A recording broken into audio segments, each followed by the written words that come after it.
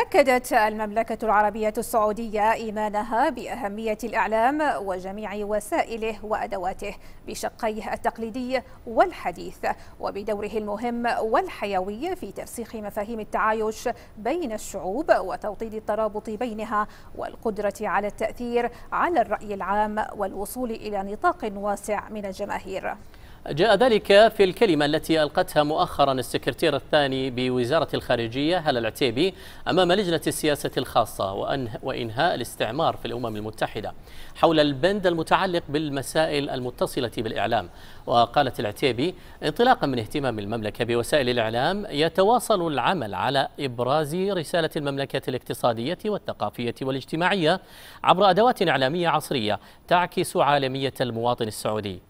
وتؤكد للشعب للشعوب الشعب العالم أجمع تقبل المواطن السعودي للآخر ورغبته بحوار الثقافات وتلاقيها كما أشارت إلى أن دور الإعلام يزداد أهمية في مكافحة ظاهرة الميليشيات الإرهابية المتطرفة والمتنامية.